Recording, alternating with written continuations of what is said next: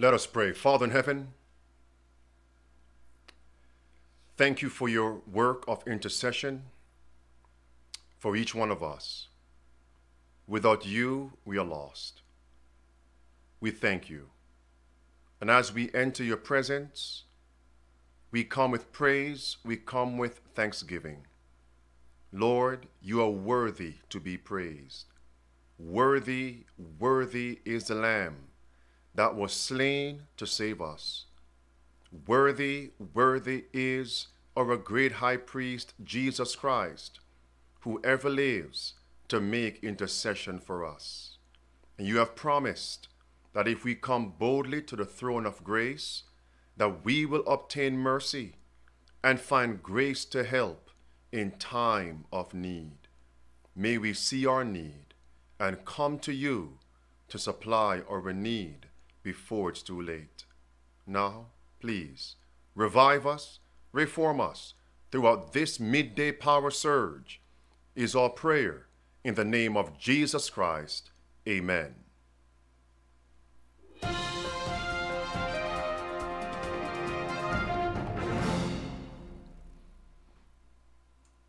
Greetings, salutations.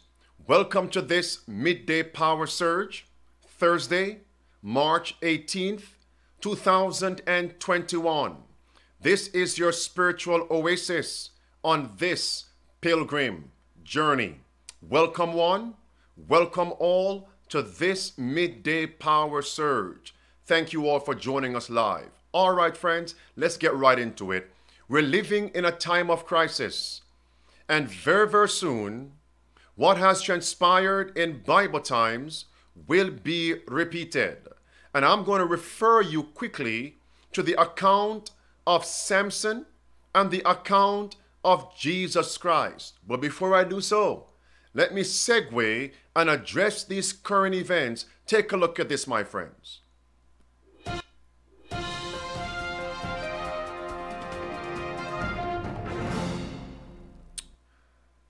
Look at this headline from the Washington Post. The headline reads Anti inoculation extremism is akin to domestic terrorism. Think about that, my friends. In other words, they're telling us you are a domestic terrorist. That's what they're saying. You are not a Christian. You are not an American patriot. If you do not receive Caesar's, the government's, pestilence 1 9, inoculation, that's exactly what they're saying. Let's take a look at this, friends. It says this campaign to deny potentially life saving vaccines to those seeking them and to poison public opinion against the inoculations could result in countless American deaths. This is akin to domestic terrorism.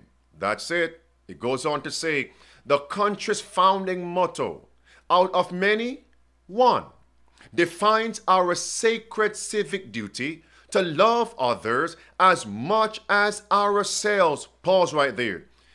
Love others as much as you love yourselves. Is that not a motto, a statement from Scripture?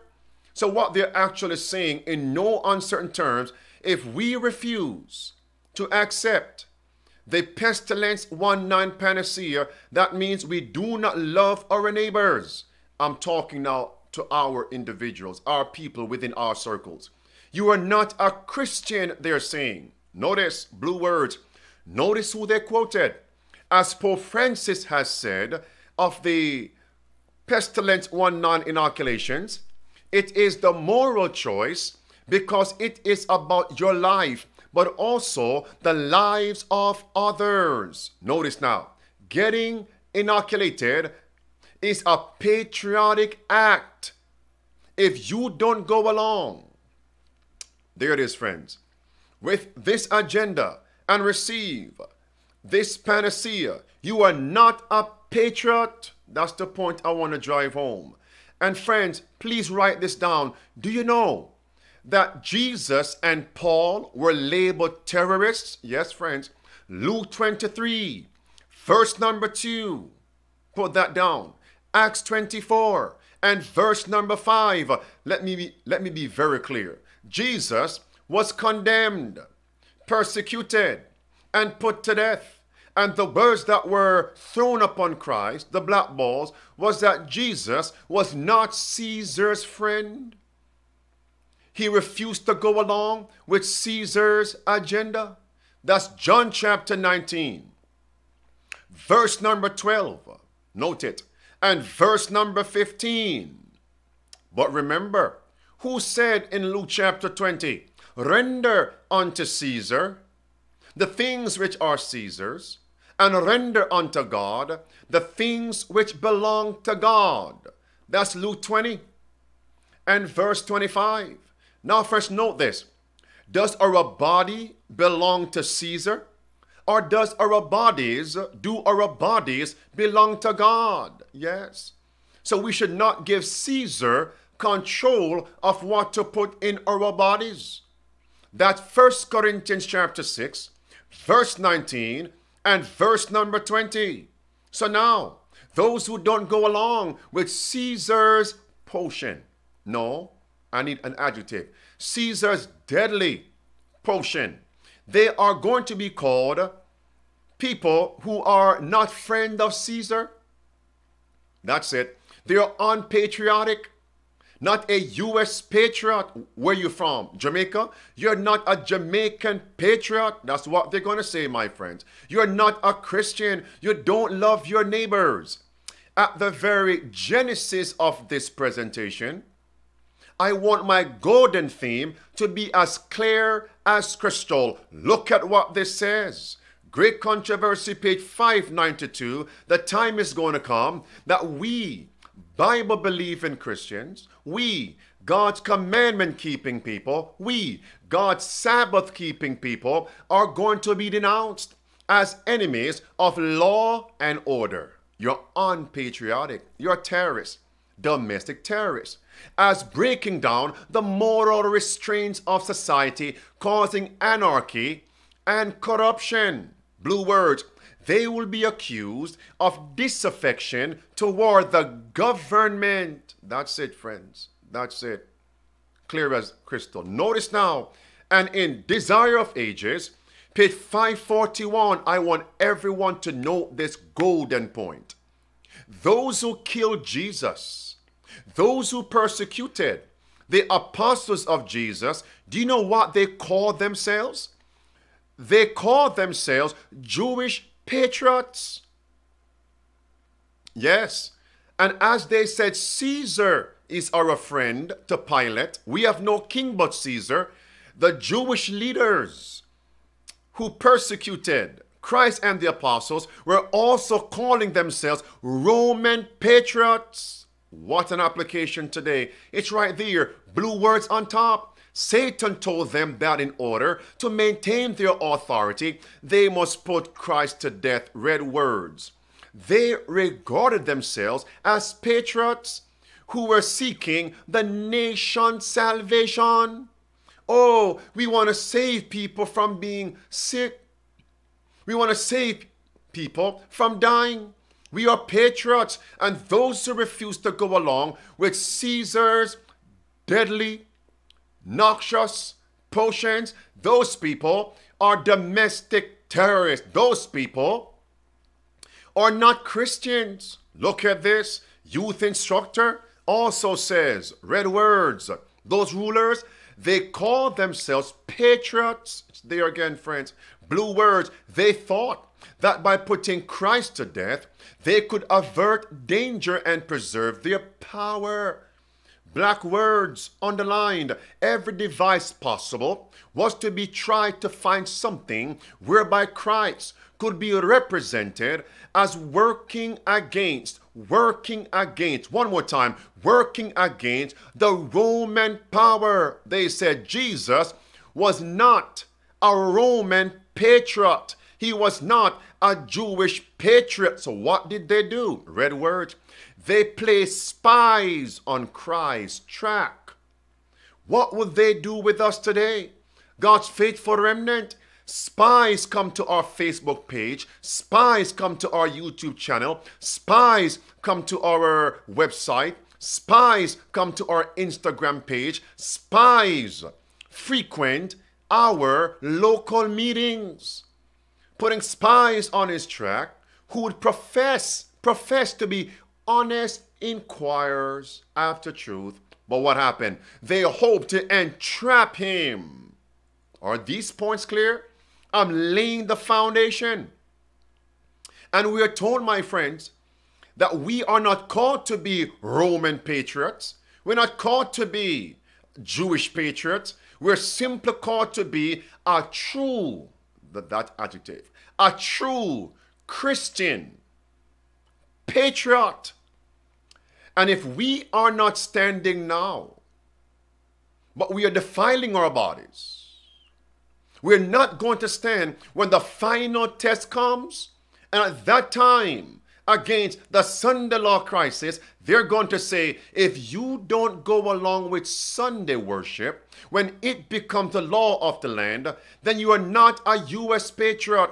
You're not a Jamaican patriot. You get the point. You're not a European patriot. You're not an Australian patriot. You're not a Caribbean patriot. You're not an Asian patriot. You're not an African patriot. You get the point? You're not an Canadian. Can't leave those out. Patriot. You're not a South American, Central American patriot. Volume 5, page 135. The book Adventist Home, page 230. Same quote. Listen, none of us need expect that when the last great trials come upon us, that a self sacrificing, true patriotic spirit for Christ will be developed in a moment because needed. No, friends. No. Oh, no, indeed. This spirit, what spirit? The true Christian patriotic spirit must be blended with our daily experience. Read that, friends. And what else? And be infused into the minds and hearts of our children, both by precept and example. Mothers in Israel mothers in Seventh day Adventism, mothers of Christianity, fathers in Israel, fathers in Seventh day Adventism, fathers hmm, in Christianity. It's time to receive the true patriotic spirit. How much more can I say, my friends? What more can be said? All right, friends. I'm going to share with you now a number of statements, current events, where we're seeing from church and state union, both church and state, church and state union are now proclaiming this. Those who receive Caesar's pestilence 1 9 inoculation, those are the people that love their neighbors. Hmm. Those are the people who are Christian patriots. Watch this. Those are the people who are Muslim patriots. Those are the people who are Jewish, you get the point, Hindus, you get those are the patriots. But those who refuse do not love their neighbors. Look at this, friends.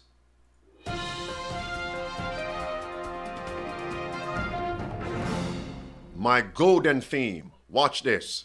This is March 17th, 2021, fresh off the press. Faith leaders get the pestilence 1 9 shots to show trust in inoculations at White House event. Next, Mr. Fauci states he leads mass inoculation push with DC area. Don't forget this because there is a particular church in Washington DC, the DC area. I will come to them shortly with DC area faith leaders, church and state.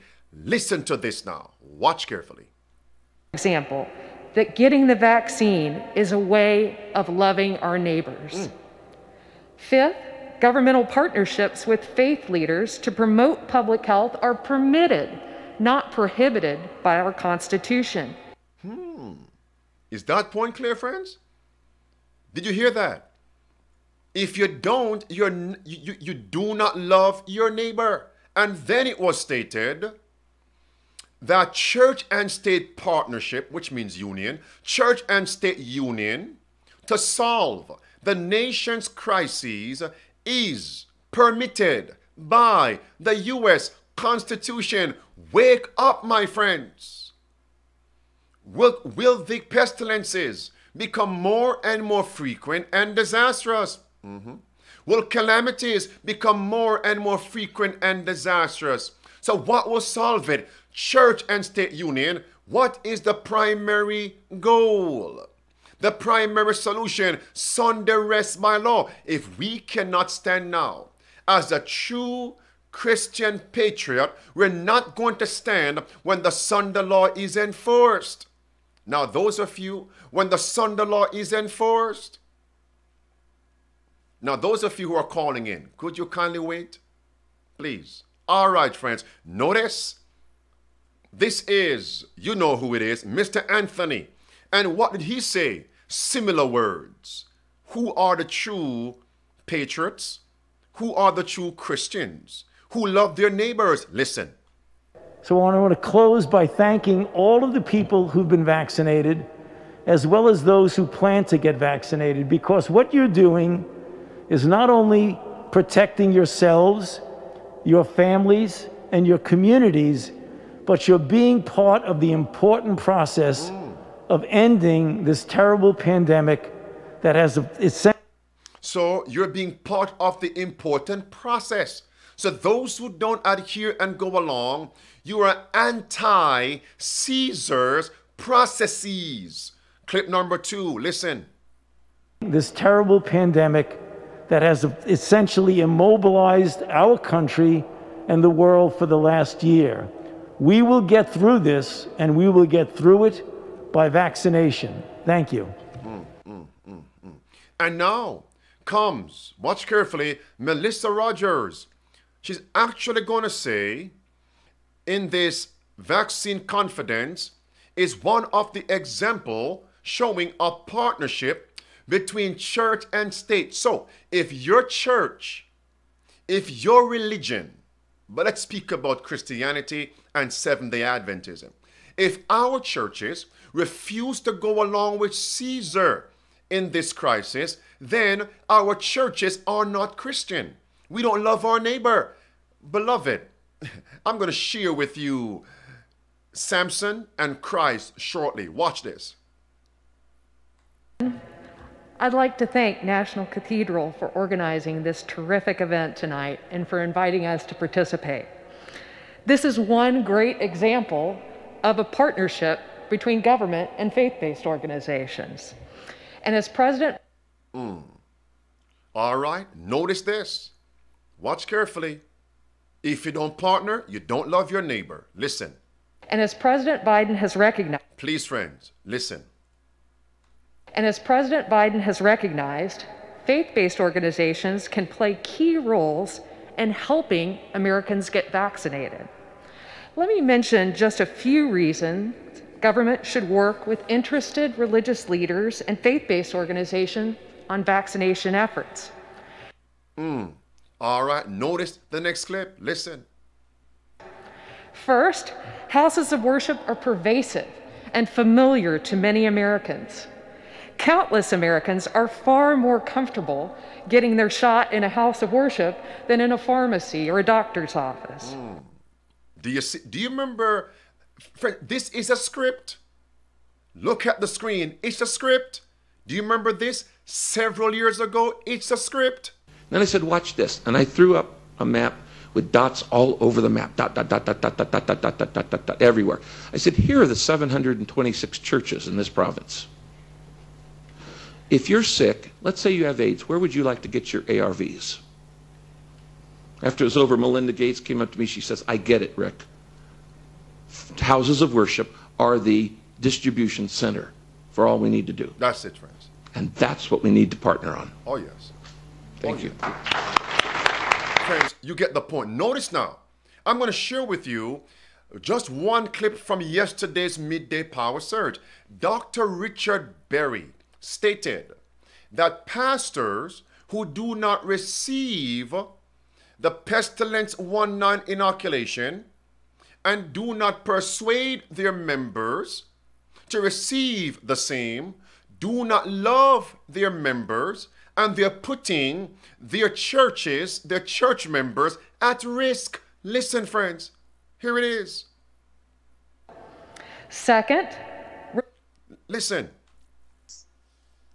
Okay, this is all to protect the pastors and the members of the Spanish community.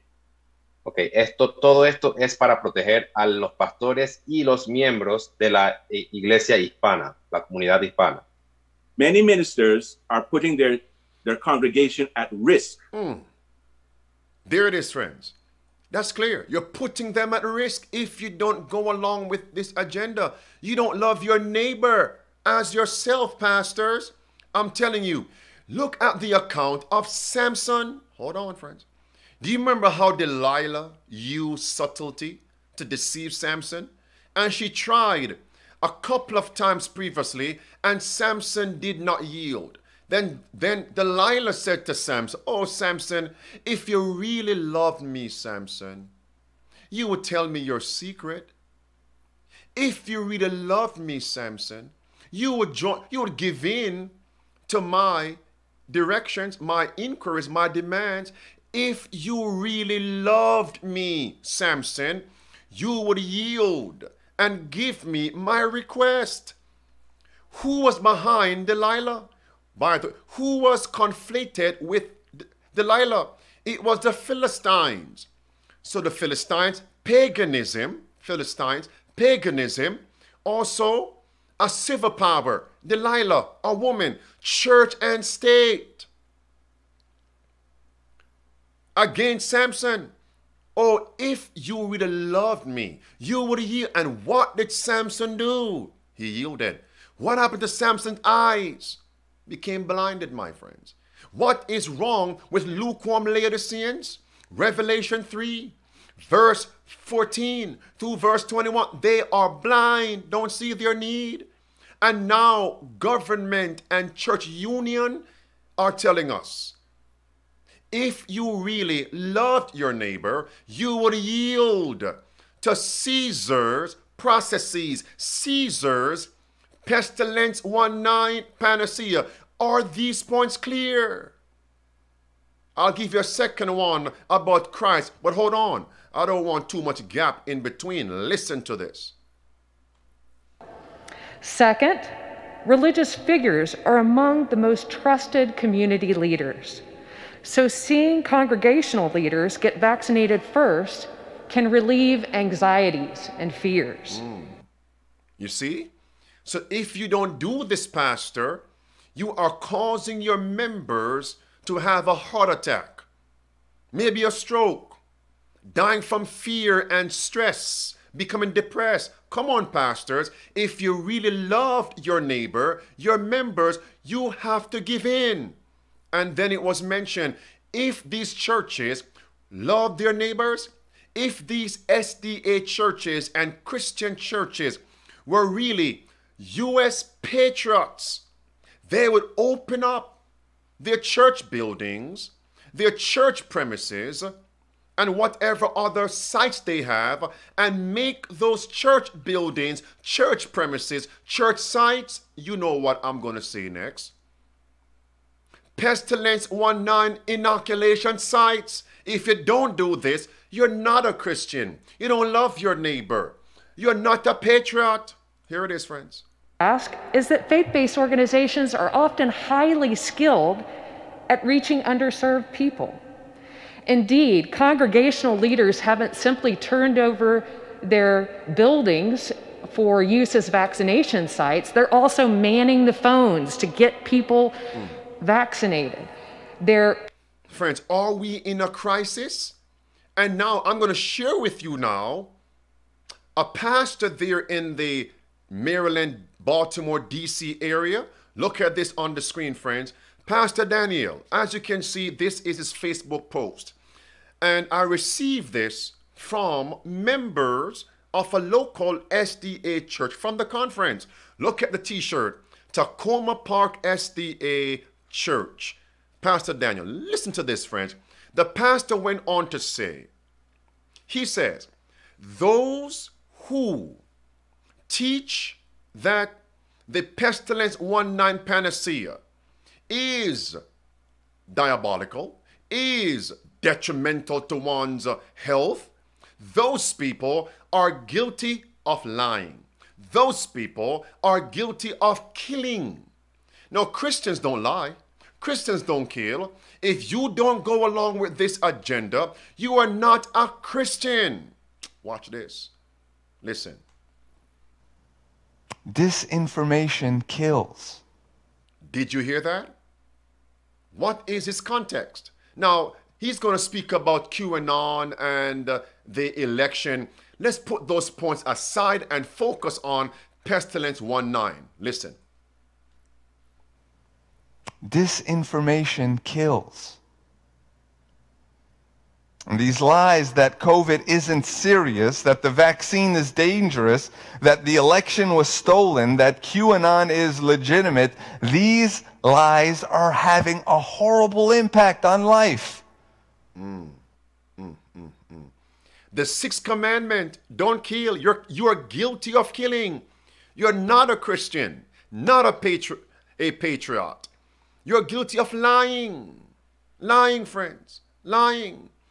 And this is where I want to introduce Christ. You remember what Satan said to Christ in the wilderness of temptation? Oh, he came with smoothing, with, with smooth words. Oh, if thou be the Son of God, just, just command that these stones be made bread.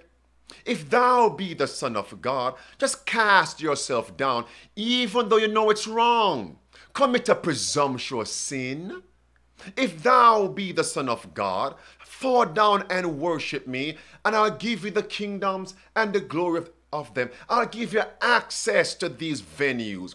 If thou be a Christian, if thou be the Son of God, it's the same temptation. And these ministers have been inspired by Satan. Government leaders inspired by Satan. Are these points clear? Now watch. Back to Dr. Richard Berry. Listen to what he said. I spoke to the president this morning and I gave him my recommendations. Would you like to hear my recommendations? Hmm. And of course, the many pastors. Listen. I recommend that when we can safely go back to church person person, we need to have five things done. Let's hear them one more time. The pastor of that church needs to have received his final COVID vaccine at least two weeks before. Mm, mm. What about the members? Listen. Number two. Número dos. At least 70% of the church membership need to have had their vaccination also. Hmm. I'm going here for a specific reason. Listen. Number three. Número tres. Every person in the church must wear masks or face shields. Cada persona en la congregación debe utilizar mascarillas o caretas faciales. Uh, physical distancing. Mantener el distanciamiento físico. This needs to be enforced in a loving way. Hmm. Y esto necesita. And now he mentions that these recommendations were shared with President, not Wilson, correction, President Winston. Listen. I've made those recommendations to um, President Winston, and um, I think he has accepted it. Hmm. Hmm. Now, friends, watch this. This was posted on Facebook on Safe to Serve's page. I laid this out. When because many are saying, "Oh, it's just a recommendation." I want to say something. Do you know Laudato Si, paragraph 237? Do you know that's the Pope's recommendation to all nations? And how many of us, Profess SDA, spoke against that papal recommendation? But when, oh my friends, profess SDA leaders make their diabolical recommendations, what do we say? It's simply recommendations. What do we call that? We call that hypocrisy. When men from Babylon recommend unbiblical policies to be enacted on the population, policies that are inimical to civil and religious liberty. Some SDAs publicly voice their disapproval. Generally, those SDAs don't say that the policies are only recommendations. However, the same SDAs are silent when other SDA leaders recommend unbiblical policies to be implemented on church members. Many of them now say, well, the policies are only recommendations. Question Why are there two different reactions? Why? Why, friends? And on Instagram, I shared the Safe to Serve Instagram page. I shared a brief four to five minute clip. We call that hypocrisy, my friends. Clear as crystal for those who want to see. Now, why did I replay those clips from Dr. Richard Berry? Many were saying it's simply a recommendation. Watch this. Is that so? Listen to this. This is the Takoma Park SDA Church. Pastor Daniel said that four pastors receive their pestilence 1-9 inoculation. For what purpose? Many reasons. One, so that they can reopen their churches when it's time. Listen to this. By the way, all four of your pastors at Takoma Park Church have received the vaccine as we prepare to resume in person worship in a few weeks. Mm, mm. Now, where is Takoma Park? That's Washington, D.C., that area. And what happened in my opening, my several news articles? Do you see a connection there? I'm wondering, were these pastors attending that meeting? Or did they send representatives? Or did they receive a memorandum, a circular letter? Did they receive something? Are these just recommendations? Oh, someone is going to say, the scoffers, the critics, he's only four pastors, pastor. He's only four pastors. How many people did Satan need to sin in the Garden of Eden? How many? All right, friends. Listen now. Now he persuades the members to also take the pestilence 1 9 inoculation. Listen. Oh, he said, we trust our medical professionals. Listen. In person worship in a few weeks. We wanted to get ready. We trust our medical professionals and we got the vaccine.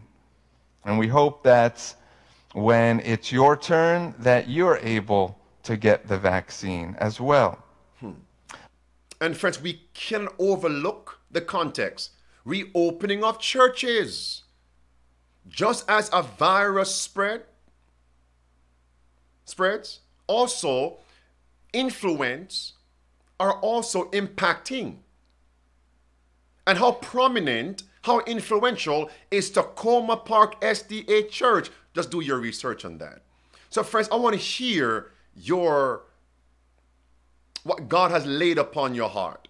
There it is, friends.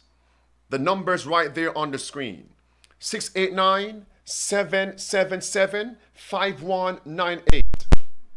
I want to hear from you. What are your thoughts, my friends? Now, notice here it says, it's not God's plan for us to unite with unbelievers in the medical work. Do not link up with the world. Do not form a kind of state church. Don't do it, friends.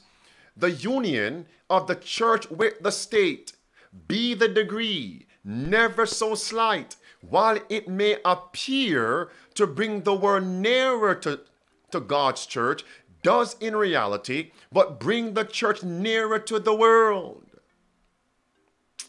Oh, friends. Caller, you're live. You have one minute to share your thoughts. Thanks for calling in. Yes, good day, Pastor. I'm calling from Trinidad and Tobago. Yes. You have one. Yes, I'm calling from Trinidad.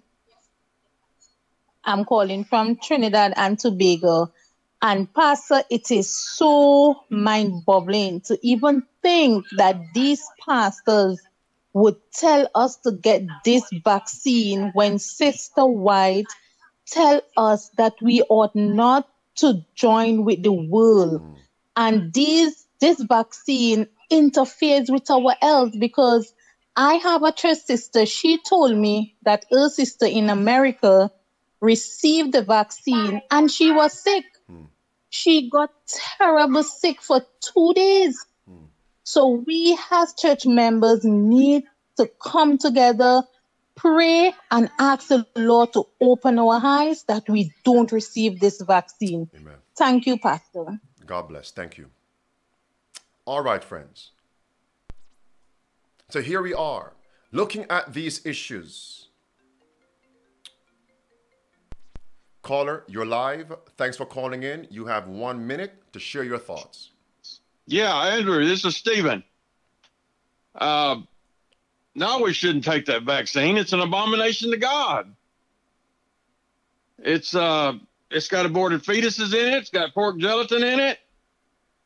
Will we not stand firm for Christ Jesus? Yes. Amen. Amen. Death before dishonor. That's our motto. I live in Texas and I live out in the center about there's three Adventist churches in three different directions. And they're all getting ready to do the very same thing. And I tried to warn all of them. Well, they think I'm crazy. Mm. I've tried to turn them to present truth. We even have a, I'm not going to name his name, but we have a, a head elder in, in, uh, in one of these churches, and he, he knows about the apostasy. And he said, Stephen, why do they need to know about that? I said, what? Why, why do they need to know about what's going on in the in the general conference? Because people are being led to hell, not to heaven. They're being led to unite, unify with Rome. No, don't take the the, the inoculation. It's it's an abomination to God. Amen. I'm so glad I got through to you. I've been trying and trying for several days. Thank you, brother. God bless. God bless. All right. Caller, you're live. You have one minute to share your thoughts. Thanks for calling in. Yes, good afternoon, Pastor. Um, I'm calling from Chicago. Um, we have the same issue here. Um, and it's as if they don't really care about the health message. It is as if it is um, on the back burner. And Pastor, I'm asking you to pray for my family, we're the Israel family, and also my mother, because she doesn't believe in the spirit of prophecy anymore. And when I try to speak to her, she puts it aside. So I'm asking you to pray for us in this time. Thank you. We will. Israel family. Thank you. Our caller, you're live. Thanks for calling in. You have one minute to share your thoughts. Hello, Pastor Enrique. Um, it's not my thoughts, it's just Bible. Things are going the way they're going, especially with those of us who are Seventh and apparently only a name. It's because our minds are stu- wait when we read the Bible, we read um, the about the mark of the beast people interpret the way they interpret it and they have a picture in their mind. And because things are not the way they picture in their mind, they are easy to fall a prey to it. And that's why God talks about even the very elect being deceived if he did not shorten the time. So my prayer is that we do not read the Bible and interpret it ourselves, but allow God to interpret his own words. For who can better interpret what he says but himself? Amen. God bless you and continue on in God's name. Praise the Lord. Uh, caller, you're live. Thanks for calling in. You have one minute to share your thoughts. Thank you, Pastor. I, I just want to know how much money or how many pieces of silver did it cost him to take everything that God has given the Seventh day Adventist Church to throw it away. I, I just don't get that. How much money did it cost? And what does is it the papacy? Does the papacy have something over the SD churches and the other churches? What what is it that they would just like that throw away everything, sell the souls of the parishioners, and um, for money? I don't know if it's is it money. I thank you so much, Pastor. Have a blessed day. All right, God bless. Caller, you're live. Thanks for calling in. You have one minute to share your thoughts. Thank you, Pastor Rincus. This is Brother D calling. Yes, sir. Just wanted this to say, you know, the Bible tells us first is a fallen away. And now we're seeing um, a loss of liberty of conscience and the church promoting a loss of liberty of conscience that we should be forced, that we should be, you know, if you're going to have 70%, even the recommendation means that you have to ask people's private information. You're going against every privacy idea that we might have had. We've gone against all these things in the name of health. The name of a health message that's not our own. And it just goes to show this crisis is showing who truly believes in the health message, who truly trusts in God's promises of health. And uh, it really, it's really a mirror to look in ourselves and like, what do we trust in? Do we trust in God or do we trust in man? Hmm. Thank you, brother. Thank you. Thank you, sir. Bye bye. Caller, you're live. You have one minute to share your thoughts, and thanks for calling in. Thank you. What concerns me is, and I am a first elder, this information is not trickling down to the elder staff in some of the churches. Mm-hmm. And one of your members, and that concerns me, if I hadn't gotten this, I would not know what's happening. Now, someone put in the chat also, and this is my final comment our people are not studying for themselves they're not reading and that is a just an accurate statement but they're they're needing leadership unfortunately to feed it to them thank you Thank you. Uh, thanks for calling in. Uh, you have one minute to share your thoughts. Pastor Henriques, I will not stand for this. I will follow Jesus wherever he goes, follow the Lamb wheresoever he goes. I have families that are taking this prick, but I will stand for Jesus. I will stand no matter what. Thank you for all you do. Praise the Lord. God's love. Caller, you're live. You have one minute to share your thoughts. Hi, uh, blessings, Pastor. Thank you for uh, preaching the truth. Uh, it's very, it's very uncomfortable seeing the, the Church of God uh, do all these things, and and what you were talking about reminds me of of Elijah when he went to Ahab, and Ahab blamed Elijah for the crisis that the uh, was going on in the uh, in the land, and uh, I believe that it's happening again, and uh, it's just sad that you know all these truths are not being spoken out by a lot of people. Uh, I'm very happy to see that God has people speaking the truth, and uh, it's just it's just that. And and what we need to do is just consecrate our lives to to God and, and worship Him, because the end result will be about worship, and it's it's it's Sunday rest by law. I know we may be considered extremists, but like you say, all these events are alarming, and uh, um, we need to we need to consecrate our lives to God and, and stand firm like the three Hebrews did, like Daniel did, like Elijah did, and uh, uh, know that we're not alone in this. The Holy Spirit is going to guide us, and and and God will give us the victory. Uh, just like like uh, Elijah told his servant, "Don't be afraid, because there is more people. There is more that are on our side that are on the opposite side, and and God will give us the victory. Continue on, my brother. Continue on, Pastor. Blessings to you and your family and to the whole ministry. Okay, God bless. All right, friends. Uh, those of you who didn't get a chance to share what God has laid upon your hearts, by God's grace, tomorrow is another day according to His will. Shall we pray?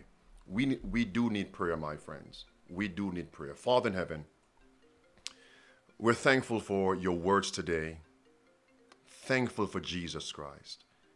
And may we understand that to whom much is given, much is required. Every SDA member name that was mentioned, shown, we pray for their conversion. You died for all of us. I pray that we will surrender all. Lord, we have sinned. We have been backward. We have been in apostasy. We are the ones in need. And today we see our need. Revive us, reform us. We thank you for hearing us. Thank you for answering. In the name of Jesus Christ, may we be found faithful. Amen.